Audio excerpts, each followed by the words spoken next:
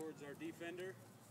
Um, and based on where he is, is whether it's kind of a lateral step, a step straight ahead, opened at a 45, okay? Um, so if I'm just a base drive block, just a nice jab step, I step three inches, okay? I'm almost just replacing my feet now, so now I have the opposite heel uh, to instep relationship. My hands come back to my six shooters, right here to my uh, hips, kinda. I don't want to pull them way back like this, because that gets our hands out wide. When I'm nice and tight, elbows pinned towards our towards our uh, back. Okay, so that's our jab step, three-inch directional step. our second step is six inches. It's called a stick, and this is where we'll actually make contact with the defender.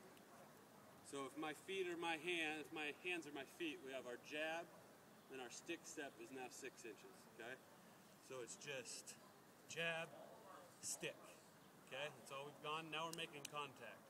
Depending on which way the ball is going is kind of what fit we want to be in. We have a green fit and a white fit. Our fit position, if I'm on Coach Hunt here, if I'm in a green fit, I have my left elbow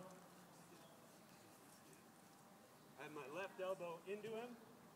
Okay, my eyes are up, and my right hand's right on that hip. Okay, I don't want to come around. I'm right in here, and this is our green fit. I have my elbow and my shoulder into him. Okay, then we have our white fit, which is just opposite. Is right here. Okay, hand on that hip. Okay, elbow up, nice and tight. Pin in the middle. Okay. So when we take that stick step, that's the position we want to get in. We want to be in that fit position and then we have our drive step, which is now nine inches. And that's where we're going to jab, stick, and we'll start to drive. As we start to drive, our feet are gonna work out a little bit and our toes are gonna start working out. And we're gonna roll our hips and start skying our eyes. Coach Jolly will talk tackling, I'm sure.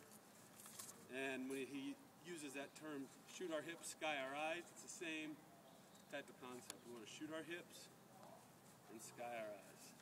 A lot of mistakes that uh, young linemen will make with the driving off the ball as you get the balls of your feet. You don't want to be up here, driving the guy up here. You want to pound the feet, try to get all the cleats in the ground. Drive, pound, pound, pound, pound, pound, pound, pound. Pounding the feet. Pounding the feet with a wide base. You don't have a wide base. You don't have a wide base. I'm trying to fit you here. Uh, good defensive lineman grab me and throw me right off. I don't have a wide base. Okay, so wide base. You're gonna leave.